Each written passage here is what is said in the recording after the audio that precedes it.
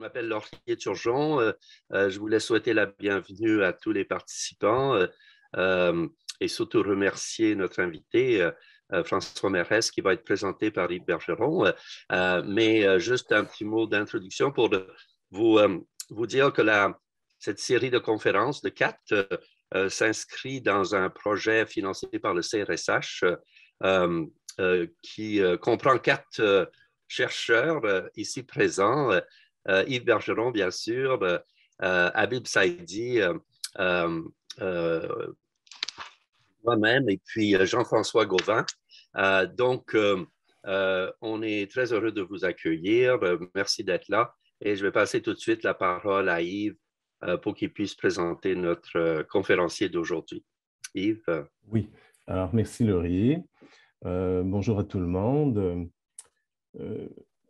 il est peut-être important de vous dire qu'au départ, euh, quand, euh, quand, on a commencé à réfléchir à ce cycle de rencontres sur la crise engendrée par euh, la COVID dans le monde des musées, on avait déjà songé spontanément à inviter François Mérès, hein, qui venait de rédiger ce rapport pour l'UNESCO.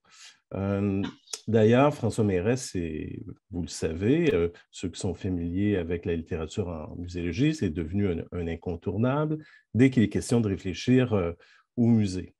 on oublie parfois certains de ses ouvrages qui, à mon avis, sont importants. On lui doit des, colloques, des publications collectives, notamment sur les tendances dans, les musées.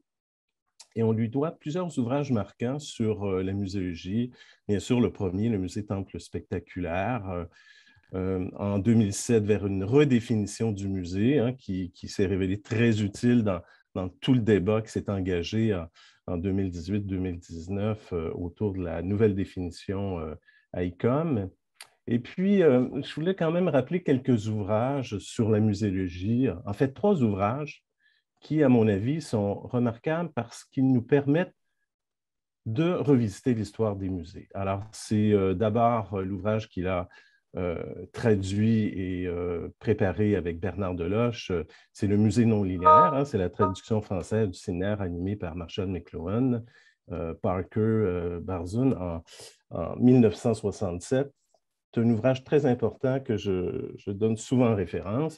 Et puis, un ouvrage qu'on connaît moins parce qu'il s'agit d'un catalogue d'exposition très important c'était en 2004, RTBF, 50 ans, l'extraordinaire jardin de, la mémoire. On retrouve entre autres une traduction du premier traité de, muséographie.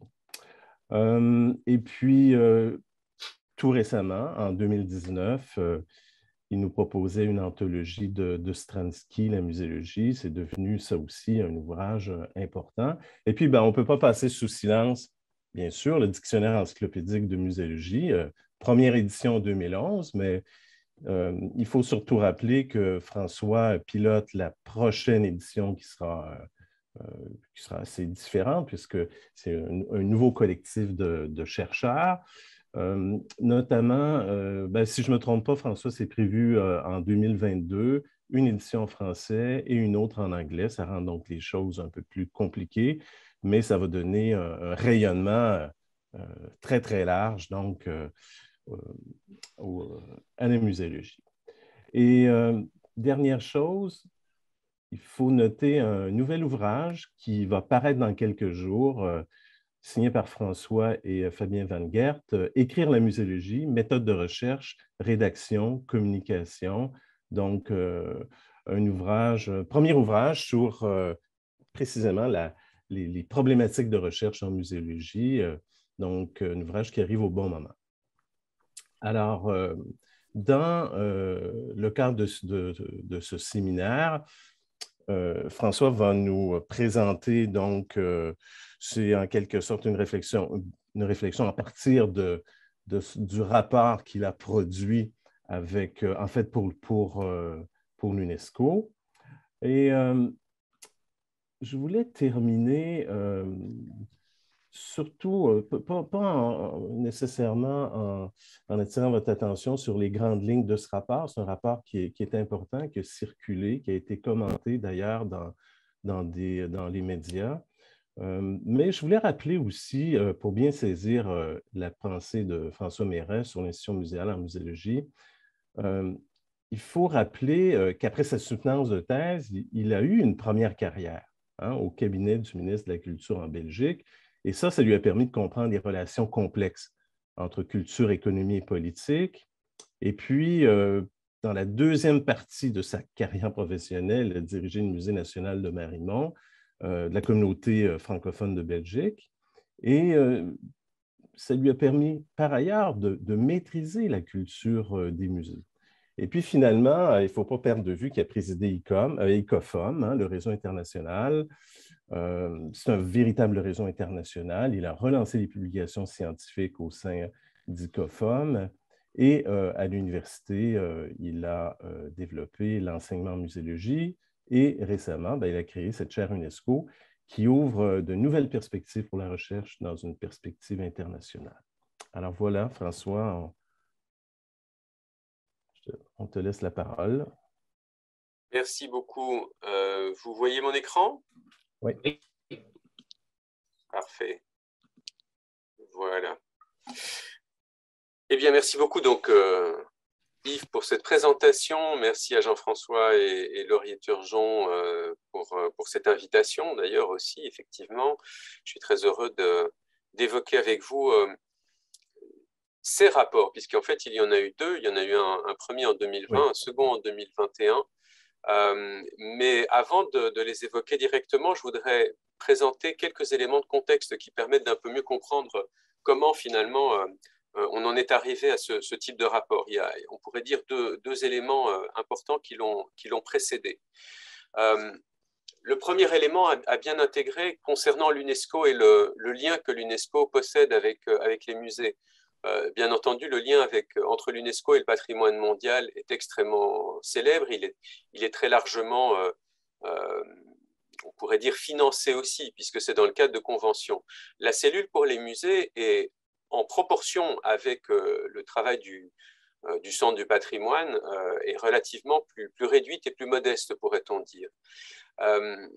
néanmoins, en 2015 a eu lieu euh, tout un travail de, développement entre l'UNESCO et l'ICOM, auquel j'ai eu l'honneur aussi d'être euh, associé, euh, pour rédiger une recommandation, non pas une convention, mais une recommandation concernant la protection et la promotion des musées, des collections, leur diversité leur rôle dans la société. C'est une recommandation importante pour le monde des musées en général, pour euh, des professionnels de musées québécois, par exemple, ou français qui, liraient la recommandation, euh, un grand nombre des, préconisations ou des, projets qui sont présentés pourraient paraître d'une assez grande banalité, pourrait-on dire. Néanmoins, il ne faut jamais oublier que pour ce qui concerne l'UNESCO, il s'adresse à 195 États membres et qu'un grand nombre de ces États ne disposent d'absolument aucune législation ou d'une très faible législation concernant le monde des musées. Et donc, c'est évidemment ce qu'essaye de développer l'UNESCO dans cette perspective, un, un, cadre, un encadrement et une, vision de l'établissement qu'est le musée qui soit très largement différente euh, de la représentation, très, somme toute, parfois très très classique qu'on peut retrouver dans un grand nombre d'États.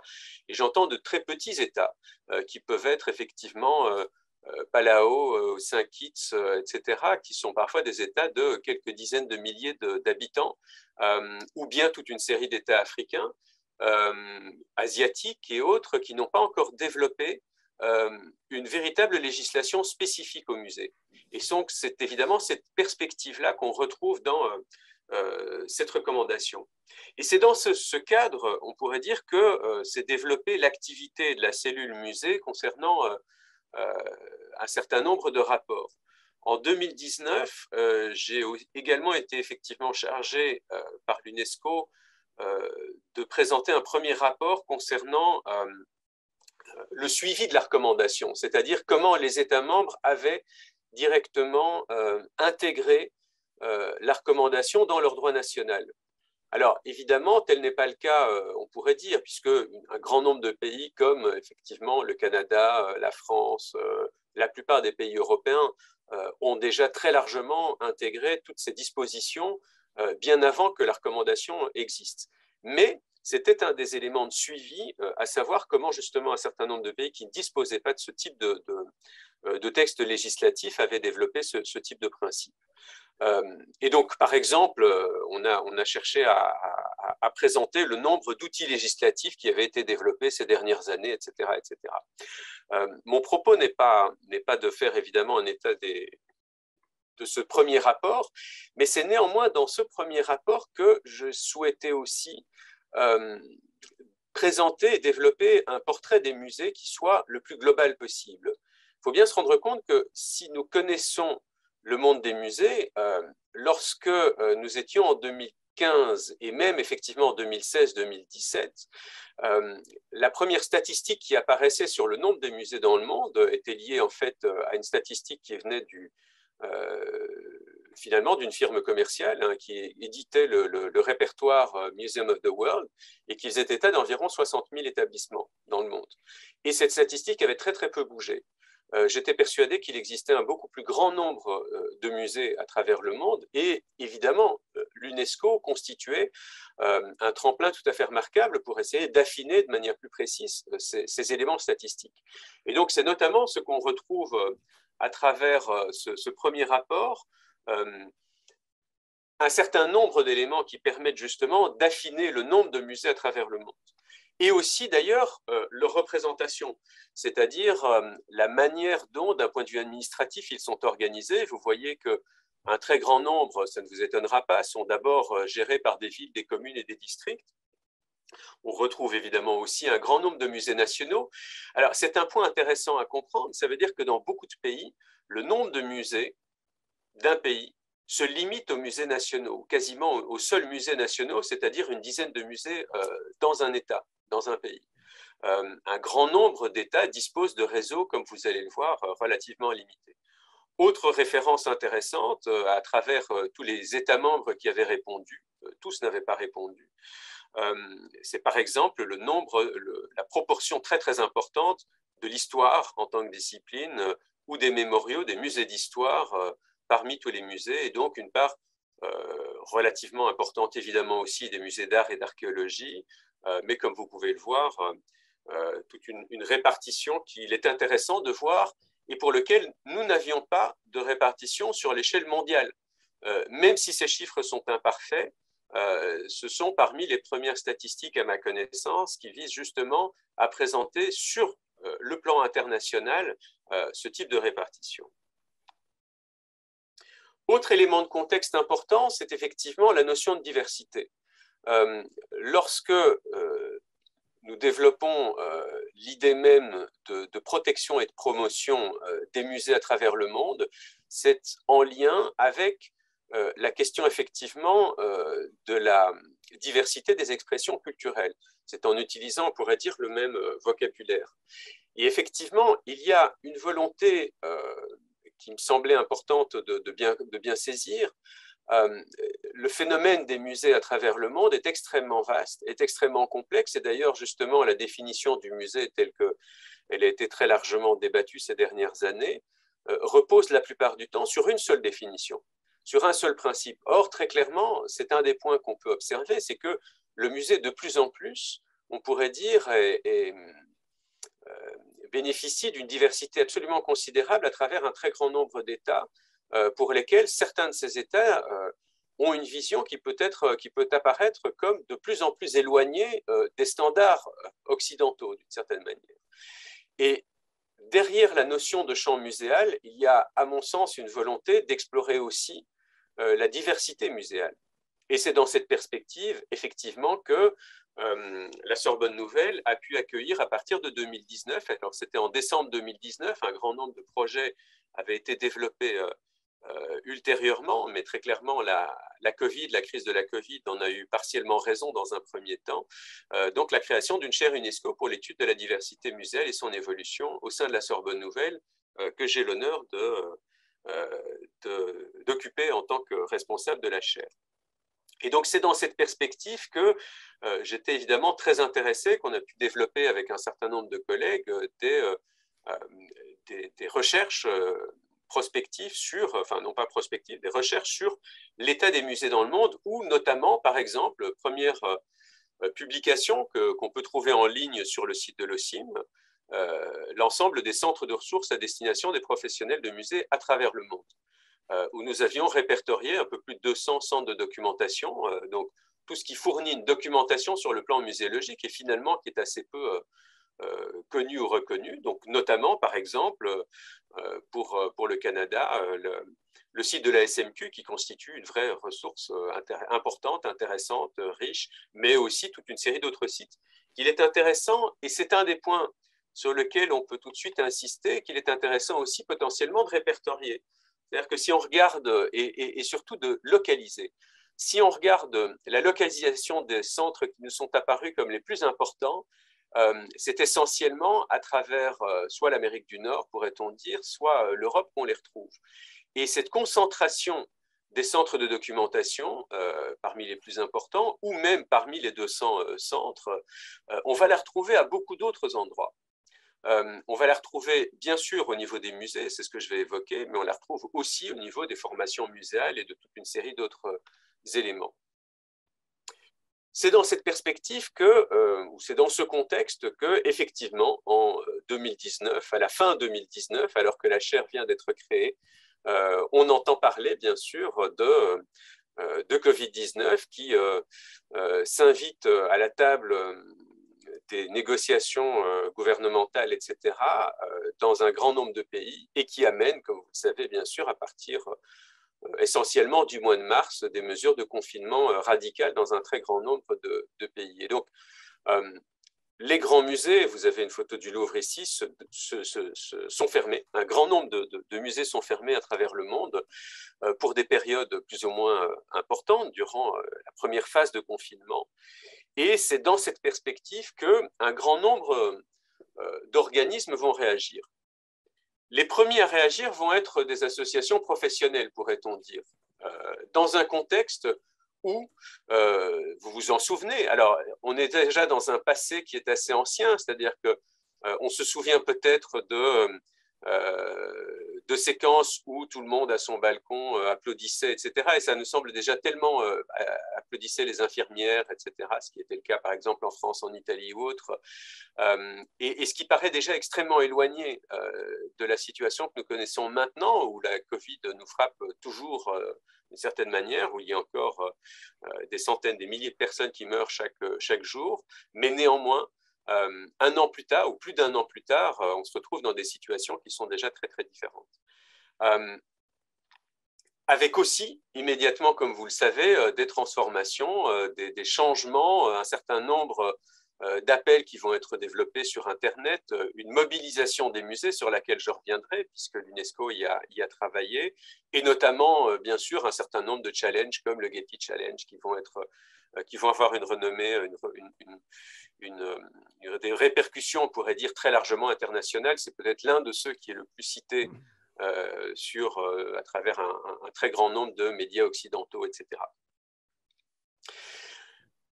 D'emblée, euh, l'ICOM, à travers son réseau, développe une première enquête dès cette époque-là, notamment sur toutes les craintes, sur toutes les menaces concernant effectivement l'impact de la crise économique. Alors, N'oublions pas que nous sommes euh, au début, on pourrait dire, euh, donc dans le premier trimestre de 2020, c'est-à-dire une époque où, très clairement, je dirais, toute une série de, craintes que nous vous pouvions avoir se sont révélées euh, un peu différentes, mais un certain nombre de craintes sont déjà évidemment d'emblée présentes, c'est-à-dire la réduction des expositions à long terme, la réduction des programmes publics, la réduction des heures, euh, euh, la perte d'un certain nombre de, subventions, etc. etc. C'est aussi euh, toutes les craintes, justement, en matière de sécurité des visiteurs, mais surtout de bien-être pour les visiteurs, le, le, personnel, etc., etc. Deuxième grande source, pourrait-on dire, notamment en Europe, c'est celui euh, du groupe NEMO, qui regroupe donc le réseau euh, euh, des organisations muséales européennes, donc nationales, etc., et qui développe, comme l'ICOM, deux rapports. Un premier rapport très rapidement pour on pourrait dire, suivre la manière dont les musées réagissent et dont les musées sont fermés et réagissent, et puis bien sûr pour relayer les, craintes. Euh, et donc notamment la crainte de fermeture euh, de musées, de fermeture définitive d'un certain nombre d'établissements. Vous vous souviendrez que dès le début 2020, lorsqu'un grand nombre de musées sont fermés, ce qu'on entend dans la presse et, à travers les conversations professionnelles ou à travers des échos professionnels, c'est que plusieurs musées pourraient ne pas rouvrir, etc. etc. bien sûr, là aussi, toute une série de, conversations autour notamment euh, de la transformation du monde muséal. Et notamment, par exemple, l'augmentation, bien sûr, des services numériques, des stratégies numériques qui apparaît ici euh, toujours euh, selon, selon Nemo, comme l'un des, sujets les plus importants, les, relayés de la manière la plus importante à travers les conversations professionnelles, etc. la notion aussi, évidemment, de transformation du travail à partir d'une donnée que, nous vivons aussi sur le plan universitaire, hein, c'est-à-dire, bien sûr, le travail à distance, etc. etc. Et donc, c'est dans ce cadre que l'UNESCO décide de réagir et de développer euh, un rapport. Euh, il faut bien se rendre compte que ces rapports sont établis, il ne faut pas l'oublier non plus. Donc le premier euh, va être publié en mai 2020, le second en avril 2021, pratiquement un an après. mais nous sommes dans des délais qui sont extrêmement courts. Il ne faut jamais oublier que le, moment, entre le moment où le rapport est décidé et le moment où il est publié, sous format numérique uniquement, il peut se passer maximum deux mois, pourrait-on dire. Donc des délais extrêmement courts pour développer des rapports, pour développer des analyses, et donc très clairement des analyses qui sont sur le vif. C'est important à, envisager, euh, mais on peut dire la même chose hein, de la plupart des, enquêtes qui sont développées à cette époque-là, euh, et qui très clairement, bien sûr, s'inscrivent dans une temporalité dont il ne faut jamais l'oublier, euh, elle est circonscrite par un contexte qui était celui du confinement, et euh, même si un grand nombre maintenant de musées sont sortis de cette logique, euh, on voit déjà à ce moment-là, effectivement, toutes les craintes, euh, toute une série de difficultés qui marquent les remarques qui vont être formulées dans ces différents rapports. Donc, c'est à partir, si je ne m'abuse, probablement de la fin du mois de mars qu'il m'est demandé de rédiger pratiquement dans les 15 jours un rapport à la suite d'un certain nombre de, travaux qui vont être faits, euh, notamment pour ce qui concerne le premier rapport. Et c'est une temporalité relativement similaire, euh, donc un temps de rédaction, d'analyse et de rédaction extrêmement bref, qu'il faut voir le second rapport également.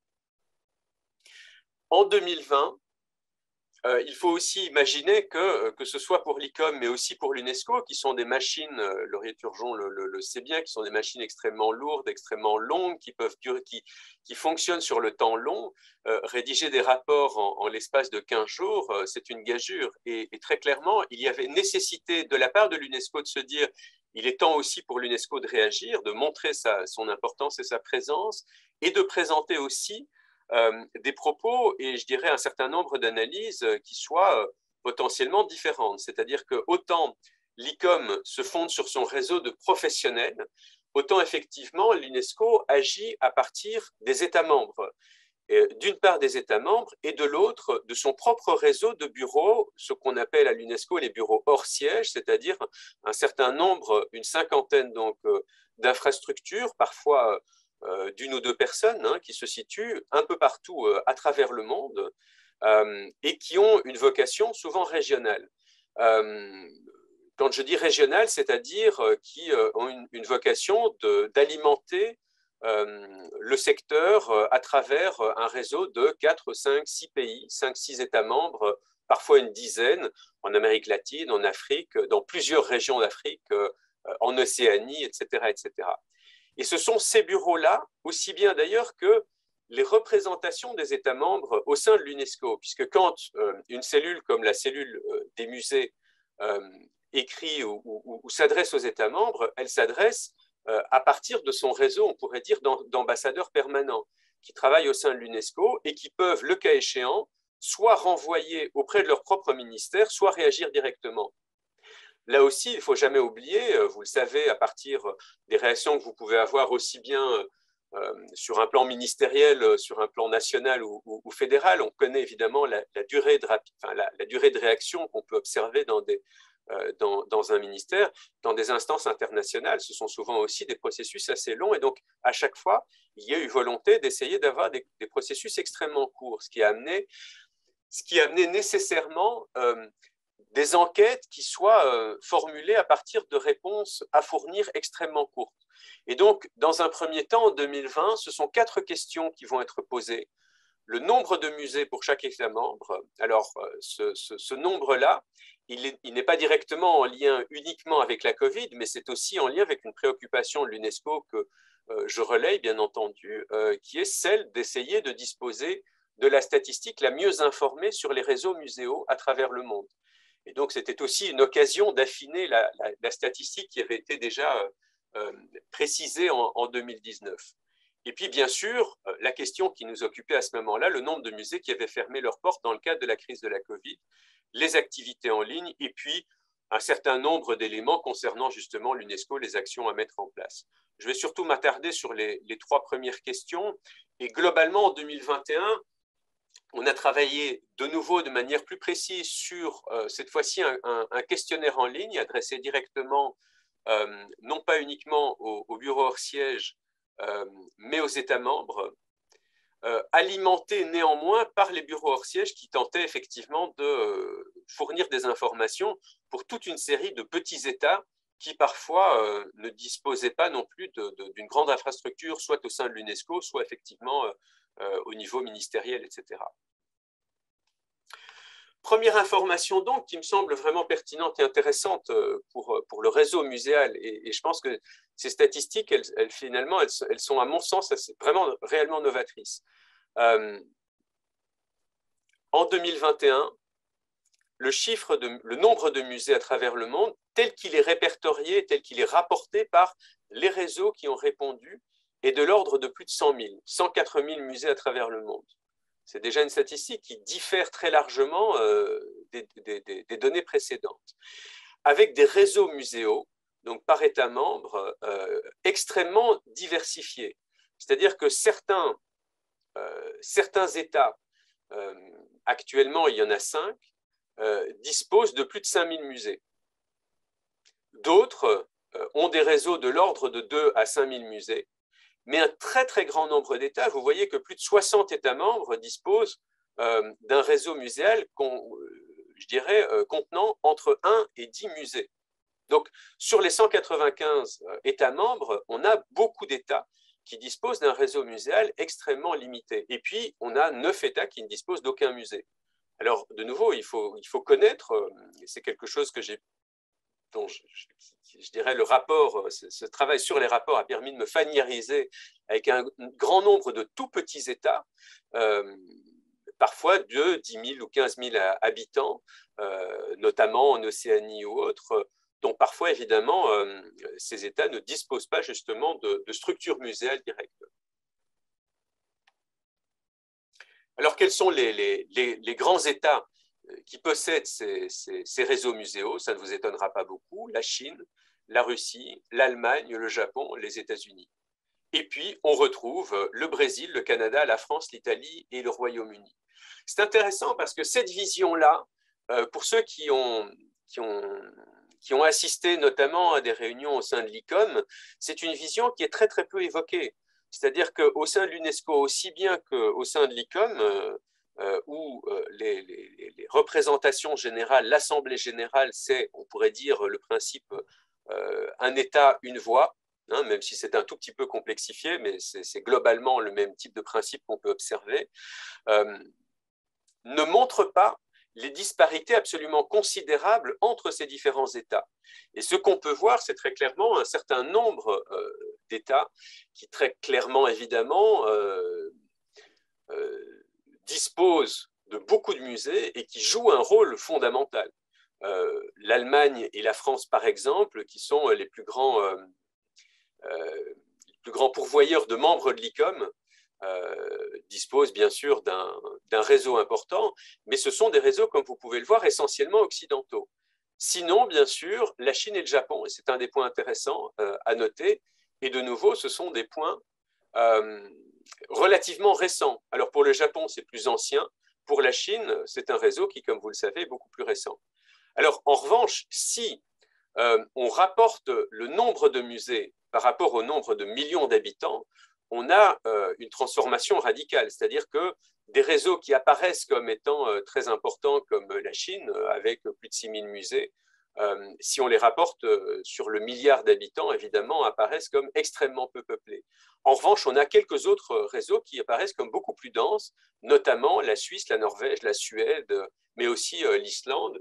Un État très peu peuplé, mais avec, évidemment, si on le rapporte au nombre de, musées par million d'habitants, apparaît comme très important. Et j'ai enlevé les micro-États, parce que si vous avez 10 000 personnes et 10 000 habitants ou 15 000 habitants et deux musées, ça fait un ratio absolument monstrueux. Mais donc, si on ne tient pas compte de ces valeurs, entre guillemets, euh, un peu extrêmes, euh, vous voyez en fait quelque chose qui se, développe. Euh, c'est essentiellement un, réseau avec une densité soit occidentale et essentiellement européenne. et progressivement, évidemment, une densité beaucoup plus faible sur le plan, justement, notamment, bien sûr, de l'Afrique, mais aussi de l'Asie. c'est une carte, la carte que je vous propose ne figure pas dans le, euh, le travail euh, lié justement à, l'UNESCO, c'est une carte que nous avons pu euh, réaliser dans le cadre d'un ouvrage qui vient de paraître également, qui s'intitule Géopolitique de la culture, avec Nassim Aboudrar et Laurent Martin, et qui montre, je vais juste m'arrêter sur un des principes, la densité du réseau muséal. Au plus les couleurs sont sombres, au plus le réseau est dense. Hein. et donc, ce que vous pouvez voir, c'est bien sûr cette densité en Amérique du Nord, un tout petit peu au niveau du Brésil et de l'Argentine, d'ailleurs plus de densité en Argentine qu'au Brésil, euh, une, assez forte densité bien sûr en Europe, en Australie, mais en revanche euh, une, très faible densité par exemple euh, en Afrique, en Asie, au Moyen-Orient, etc. Et c'est ce principe-là qu'on va retrouver bien sûr à travers toute une série d'autres éléments, c'est-à-dire une image, notamment euh, la carte que je vous montre est, issue d'un travail en cours que je réalise avec Audrey Doyen et qui devrait paraître à la fin de cette année-ci, euh, également avec, euh, avec le CIM, sur les formations muséales à travers le monde, hein, plus de 500 formations, et là aussi une densité très forte en Amérique du Nord, un peu plus en Amérique latine, pas mal bien sûr en Europe, mais très largement inexistante au Moyen-Orient, euh, dans une partie de l'Asie euh, et également effectivement aussi en Afrique. Alors venons-en évidemment aux conséquences de la Covid. le premier rapport a été assez, assez on pourrait dire, fascinant. C'est-à-dire que il était, nous savions tous que la crise de la Covid avait une influence assez mondiale, euh, mais de voir à quel point effectivement euh, un si grand nombre d'États avaient fermé leurs portes euh, et avaient fermé leurs musées était absolument considérable, était absolument une révélation. C'est-à-dire que nous savions que beaucoup de musées avaient été fermés dans des États comme le Canada, comme la France, la Belgique, la plupart des États européens, mais il était très difficile de savoir effectivement que près de 150 euh, États avaient fermé de manière radicale pendant une petite période euh, ou une période beaucoup plus importante euh, leurs portes. Et cet élément-là, il a bien sûr pu être affiné en 2021 puisque nous disposions à ce moment-là d'une précision sur la durée de la fermeture en 2021, puisque lorsque le premier rapport est publié en 2020, euh, ce rapport, il se fait à un moment où les musées sont encore fermés. Et donc, on ne dispose pas d'informations sur la manière dont l'impact, on pourrait dire, euh, économique, etc., se développe. Sauf qu'en 2021, lorsqu'on développe euh, l'enquête à partir du mois de mars, on parvient à, avoir des informations plus précises sur la fréquentation, sur les recettes, sur les fermetures de manière plus importante. Et c'est évidemment là qu'on a des éléments importants. Alors c'est ici que vous voyez que globalement, c'est à partir, on pourrait dire, de ces informations essentiellement relayées, euh, non pas par les États membres, mais par les bureaux hors siège, que dans un premier temps, on peut évoquer le fait que plus de 90% des, musées ont été fermés temporairement, du moins un moment. Parfois pendant trois jours, pour certains États, parfois pendant pratiquement un an. Et donc, les musées fermés au public en 2020, nous n'avons pas eu des réponses sur l'ensemble des, des États. Il faut bien se rendre compte que quand l'UNESCO développe une enquête, aussi bien pour une recommandation, une convention, etc., elle demande des, informations à l'ensemble des États membres. Tous les États ne répondent malheureusement pas toujours. Euh, parfois, les, requêtes sont bloquées euh, dans les méandres de l'administration nationale, etc. Ici, nous avons eu un nombre, à mon sens, très, assez important, voire très important, pourrait-on dire, de, réponses qui nous permet d'avoir une vision quand même assez représentative, à mon sens, de la situation mondiale, puisque euh, pratiquement 90%, c'est-à-dire pratiquement la moitié euh, euh, des, États membres ont répondu au questionnaire pour donner des réponses assez précises et, véritablement exploitables. Et donc, sur cela, près de 84% avaient été fermés totalement ou partiellement. Alors, première donnée vraiment intéressante, enfin, à, mon sens, là, jusqu'à présent, ces éléments-là, vous les connaissiez. Euh, première donnée qui, apparaît dans ce rapport, c'est effectivement le nombre de jours de fermeture. Et ce qu'on peut observer, c'est que d'emblée, euh, il y a une grande diversité au niveau des, jours de fermeture. Euh, certains musées sont, restent ouverts. Hein, sur les 87, il y, en a, il y en a 14 qui restent ouverts. Mais néanmoins, globalement, on pourrait dire que l'essentiel vont être fermés pendant trois mois. On pourrait dire. Et souvent, c'est, on pourrait dire, entre mars, euh, entre mars et, juin, juillet ou quelque chose comme ça, on a cette période. Parfois, on a une période qui se poursuit. Euh, parfois, on a deux périodes de fermeture. Mais comme vous le voyez, on a euh, entre, en moyenne, on pourrait dire 60, 60 65 jours de, fermeture, mais parfois des, des, États qui vont fermer pendant plus de 250 jours euh, leur, euh, leur musée. Nous avions posé la question sur les musées nationaux. Pour une simple raison, c'est que nous pensions aussi que les musées nationaux, enfin les, États membres pourraient plus précisément et plus directement donner des informations sur les musées nationaux. Ce qui était sûr, c'est que en posant la question et en disant est-ce que les mêmes mesures ont été appliquées à d'autres, à l'ensemble des musées, on s'est rendu compte que globalement, la différence entre les musées nationaux et les musées de ville euh, euh, ou des musées associatifs, etc., étaient finalement euh, relativement mineurs et donc globalement, les, politiques avaient été suivies de la même manière pratiquement partout. Donc l'information que nous pouvons avoir nous révèle des tendances générales, on pourrait dire, sur, sur l'ensemble des musées.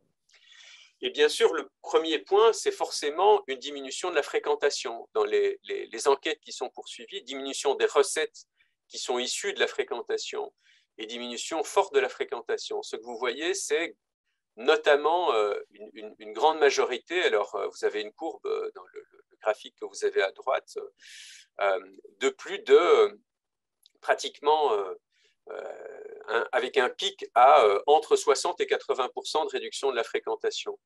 ce qui correspond, je pense, à des chiffres que vous avez en tête pour, pour des, euh, des, provinces ou des, lieux comme le Québec, comme le Canada, comme toute une série d'autres lieux. Euh, ce qui est intéressant à comprendre, c'est que même dans le cas, et c'est assez logique évidemment, même dans le cas où euh, des musées étaient restés ouverts, puisque il y avait toute une série d'États qui avaient décidé de, rester ouverts, les musées ont vu leur fréquentation très largement diminuer, puisqu'en fait le tourisme s'était effondré comme vous le savez, le tourisme mondial s'est très largement effondré, continue euh, d'être très très largement euh, euh, en diminution par rapport à des années comme 2019, et ce qui a un impact considérable sur notamment les grands établissements. Alors peut-être un peu moins au niveau des musées communautaires qui ont pu garder une fréquentation pourrait dire, à l'échelle d'une région, d'une localité, mais néanmoins qui, peinent à, redémarrer de la même manière, notamment pour les très grands établissements. Je pense évidemment, euh, si je suis à Paris, au Louvre, à Orsay, etc., mais c'est évidemment un phénomène similaire qu'on peut observer à beaucoup d'autres endroits. Même principe lorsque euh, nous, écrivons, euh, nous posons la question au mois de mars 2021 euh, les fermetures se poursuivent. Et donc, près, pratiquement un peu moins, près de la moitié, on pourrait dire, des musées étaient fermés au mois de mars, phénomène qui maintenant, évidemment, à la fin de l'année 2021, est en train très largement de s'inverser, c'est-à-dire que un très grand nombre de musées d'État, à ma connaissance, sont maintenant ouverts, mais néanmoins, comme vous pouvez le voir, euh, même si on a une fermeture beaucoup moins importante durant la seconde et les troisièmes vagues de la pandémie, on a néanmoins effectivement euh, encore un grand nombre d'établissements qui continuent effectivement de euh, fermer, fermer leurs portes. Évidemment, le principe qui s'est d'emblée développé, la première réaction qu'on a eue dès le départ, c'était les musées sont fermés, mais ils restent ouverts sur le plan numérique, etc. Et c'est ce que l'UNESCO a essayé de rassembler à travers justement ces, bureaux régionaux, ces bureaux hors siège, c'était de demander euh, quels étaient les musées qui avaient développé une activité sur, euh, sur Internet. Alors, à travers cette activité, à travers un certain nombre de recherches que j'ai pu aussi effectuer euh, à partir du siège parisien, on a pu répertorier environ, environ 800 exemples issus de plusieurs pays. Euh, on ne peut absolument pas prétendre à travers cette statistique à l'exhaustivité ou à une représentativité parfaite euh, de ce qui s'est passé sur le plan numérique. Et je pense qu'il est important, évidemment, de, euh, bien saisir les biais qui sont tout à fait reconnus dans l'enquête par rapport à ces éléments, puisque très clairement, le temps qui nous était imparti pour essayer de développer une enquête globale était beaucoup trop limitée pour, euh, euh, atteindre une, véritable exhaustivité, une représentativité des activités sur Internet. Euh, ce que vous voyez d'emblée, bien sûr, c'est une part très importante, bien sûr, de l'activité en Europe et forcément aussi alors importante en Amérique latine et finalement, dans un premier temps et de manière peut-être un peu plus étonnante, une activité relativement limitée pour l'Asie et le Pacifique. Euh, avec surtout, et c'est un des points euh, intéressants à, voir, euh, ce qu'on a pu observer, c'est que lorsqu'on parle, et lorsque notamment les médias mettent en valeur, si vous vous en souvenez, il y a eu beaucoup de campagnes dans les médias sur les musées qui se visitent et la fréquentation des, grands sites de musées qui, qui, qui, augmente, qui parfois est multipliée par 10 dans un, dans un premier temps, puis qui décline, etc. En fait, la plupart du temps, ce sont des éléments qui existent déjà, qui sont mis en place. Euh, ce sont, on pourrait dire, des investissements euh, qui sont valorisés, mais qui ont été opérés durant les 5-10 dernières années et qui parfois euh, sont extrêmement classiques. un grand nombre de cette fréquentation, une grande part en, quelque sorte du flux, est extrêmement classique et reliée, pourrait-on dire, à des opérations déjà opérées, notamment à travers Google euh, Art and Culture, etc., c'est-à-dire des opérations, euh, on pourrait dire, classiques de visite virtuelle, de, de, de type Street View, qui s'était développé notamment à travers, à travers l'apport de Google. Alors, ce que vous avez ici, c'est une représentation pour les différentes régions de l'UNESCO euh, de la manière dont euh, les réponses avaient été données à travers ce qui avait pu être sélectionné. Une activité, bien sûr, une exploitation des ressources déjà numérisées. Vous voyez que dans un certain nombre de pays, c'est essentiellement des choses qui existent déjà, euh, mais bien sûr aussi une activité importante sur les réseaux sociaux. Beaucoup d'établissements qui ne disposaient pas de beaucoup de moyens euh, on cherchait bien sûr à être plus ou moins actif à travers Facebook, Twitter, etc. Euh, quelques développements d'expositions en ligne, notamment pour des expositions qui n'avaient pas été, euh, qui n'avaient pu être soit ouvertes, soit qui venaient d'être ouvertes et qui étaient et qui avaient été fermées du fait de la pandémie. Et de ce moment-là, beaucoup d'activités ont été déplacées en ligne avec euh, l'exposition est fermée, mais vous pouvez la visiter à travers euh, soit euh, le catalogue qui est mis en ligne, soit quelque chose d'un peu plus sophistiqué. Et seul, pourrait-on dire, un certain nombre d'établissements vont développer, et notamment, on pourrait dire essentiellement des établissements qu'on retrouve en, Europe. Euh. Alors, quand on dit Europe occidentale, c'est notamment l'Amérique du Nord, hein, dans la région dite UNESCO. Euh, et, le découpage Europe occidentale et Europe orientale renvoie en fait au découpage qui existait durant la guerre froide entre le bloc communiste et le bloc de l'OTAN, pourrait-on dire. Et donc, c'est ce découpage qu'on continue de, retrouver. C'est pour ça qu'on parle toujours de la région Europe occidentale et de la région euh, Europe orientale qui, a été conservée. C'est notamment, par exemple, à travers, euh, à travers des, sites. Euh, L'Italie était très très novatrice en la matière, qui avait été, comme vous le savez, confinée très très tôt, à travers des, des, radios qui ont été lancées, toute une série de, euh, de propositions, euh, surtout d'animation pour les enfants qui ont été lancées, etc. Euh, mais en fait, un petit nombre d'établissements pourquoi? Simplement parce qu'un très faible nombre d'établissements disposent d'un personnel susceptible de pouvoir utiliser autre chose que Facebook ou Twitter et donc de développer quelque chose qui soit une réponse un peu plus sophistiquée, pourrait-on dire, sur le plan numérique avec euh, des vraies pages Internet, avec euh, par exemple une radio numérique euh, ou des visites en ligne, sinon un certain nombre d'opérations de type des, conférences en ligne, etc. Bien sûr, comme vous le savez, Zoom est devenu l'ami ou l'ennemi, ça dépend, aussi bien des universitaires que des professionnels de musée qui ont développé un certain nombre de choses pour justement essayer d'attirer le, public à ce moment-là.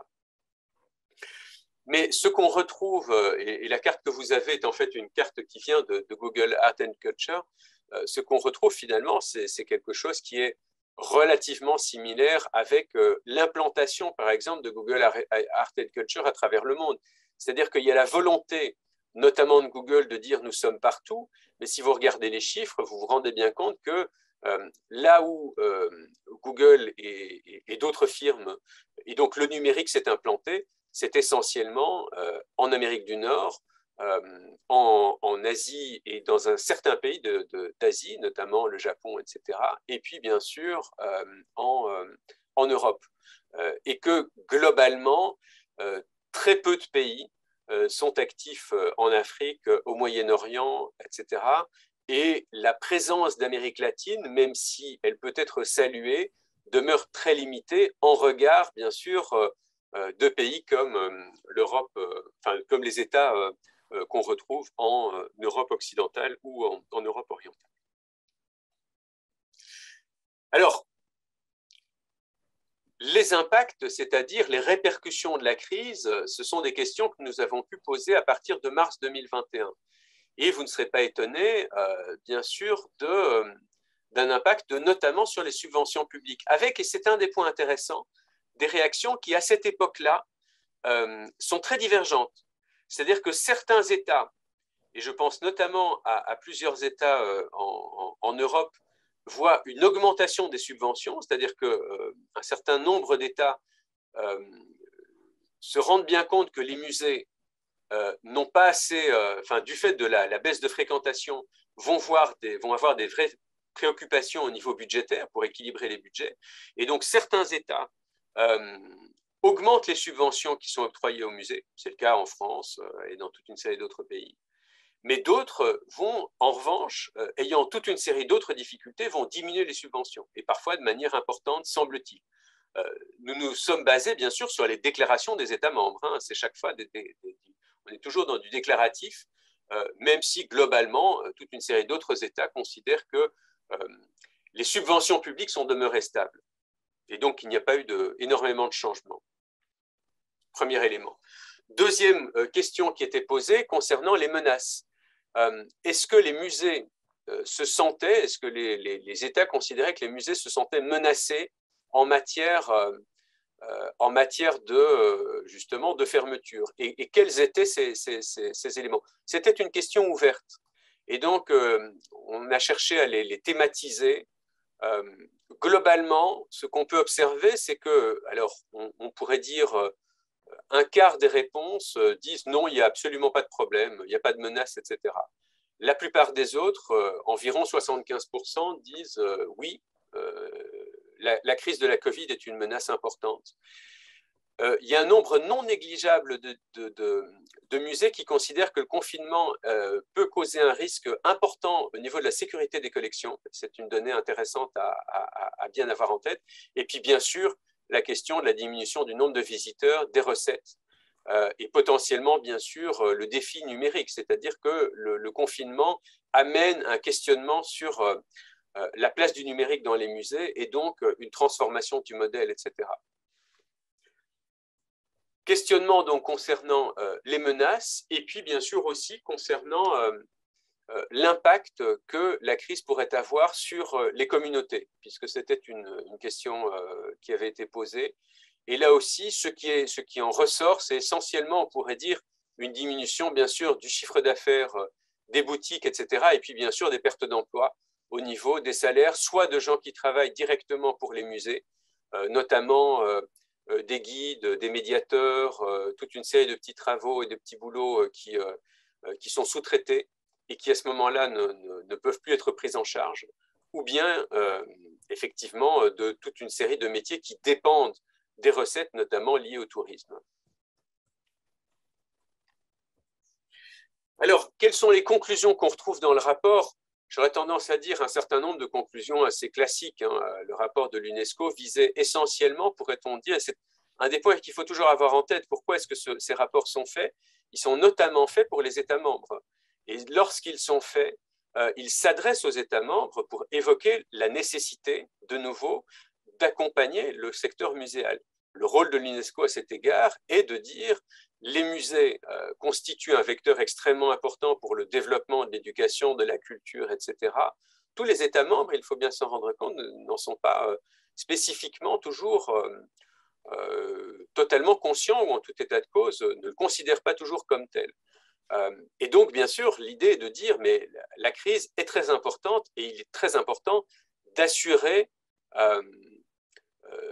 d'assurer un soutien financier. C'est un des points importants.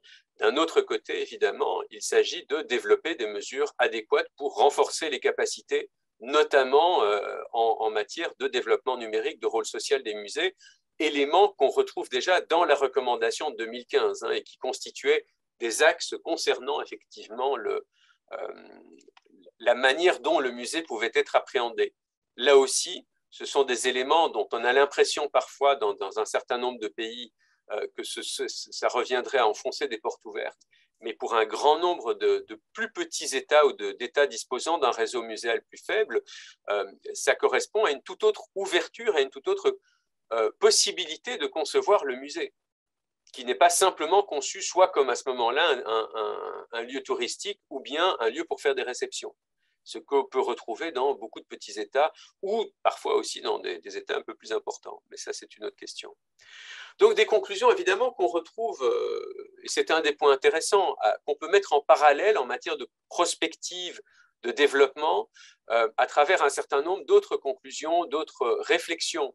Euh, vous connaissez certainement le, rapport qui est édité chaque année par le Center for the Future of Museums de l'American Alliance of Museums, les quatre points qu'elle développe dans euh, le, numéro, la livraison qui, est parue à cette époque-là, c'est effectivement, bien sûr, euh, des questions concernant la Covid, mais deux éléments extrêmement importants, enfin un élément extrêmement important, bien sûr, c'est l'inégalité et bien sûr le mouvement Black Lives Matter qui, à ce moment-là, défraye la chronique en parallèle.